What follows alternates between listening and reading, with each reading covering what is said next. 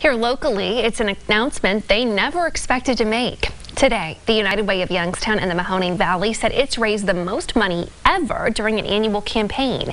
First News reporter Hannah Erdman explains it was all thanks to help from the community.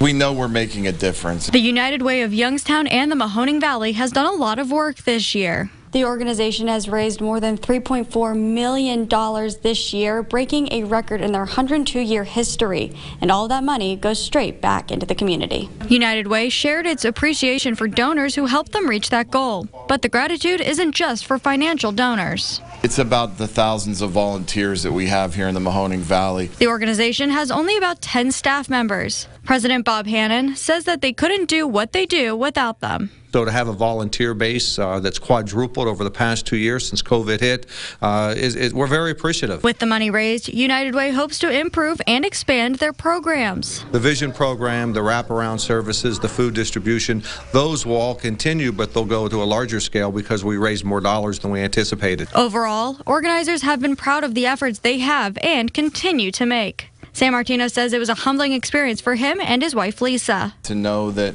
um, you're mentoring young children and you're helping um, older people and families on the Saturday day of caring, um, it you know obviously that makes you feel good and and you want to make that difference. Reporting in Youngstown, Hannah Erdman, WKBN 27 First News.